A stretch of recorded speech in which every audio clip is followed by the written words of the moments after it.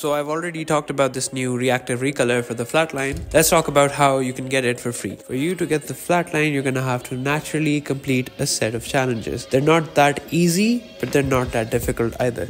For starters, you're gonna have to be level 60 on the battle pass. You can buy your way through it, however, it's going to be quite easy to get there as you play the game and progress into the season. So the next is the legend breakout challenges. In this, you've been given Seer for now. You're gonna have to complete a set of challenges with Seer and then you're gonna get Valkyrie and other legends as well. It's not exactly time dated, however, you can actually physically be able to unlock the skin at April 23rd.